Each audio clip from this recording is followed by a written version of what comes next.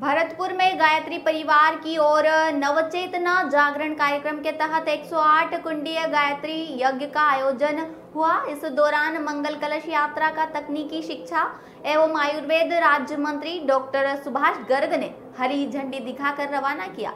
इस मंगल कलश यात्रा में सैकड़ों की संख्या में महिलाएँ पीत वस्त्र धारण कर सिर पर कलश लेकर शहर के मुख्य मार्गों में होकर निकली। किला स्थित गायत्री शक्तिपीठ में आयोजित कार्यक्रम में डॉक्टर गर्ग ने वेद माता की पूजा अर्चना की और 108 कुंडीय महायज्ञ स्थल पर पहुंचकर आयोजित कार्यक्रम में बोलते हुए कहा कि यज्ञ एक ऐसा कार्य है जिसके माध्यम से बुराइयों, व पापों का दहन होता है। उन्होंने कहा कि गायत्री परिवार द्वारा आयोजित होने वाले इस महायज्ञ, व नवजागरण के माध्यम से शांति, सद्भाव और प्रेम, व भाईचारा की भावना और मज़बूत होगी। उन्होंने लोगों का आह्वान किया कि वे भरतपुर के विकास में सहभागी बने ताकि विकास को और अधिक गति मिल सके। इस अवसर पर गायत्री परिवार के राजस्थान जोन प्रभारी ओम प्रकाश अग्रवाल, गायत्री शक्तिपीठ के मुख्य ट्रस्टी देवेंद्र जामड़, कांग्रेस के शहर अध्यक्ष दयाचंद पचोरी, सेवर ब्लॉक अध्यक्ष दीनदयाल जाटव, डॉक्टर सुशील पारासर, सुरेश पारासर, अभिषेक तिवारी सहित गायत्री परिवार के सदस्य व कार्यकर्ता मौजूद थे।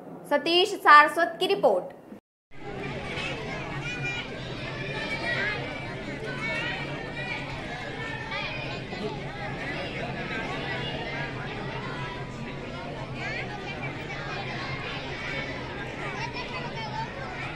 स्पोर्ट्समैन स्पिरिट्स के साथ बढ़ते हुए हम आगे बढ़ेंगे।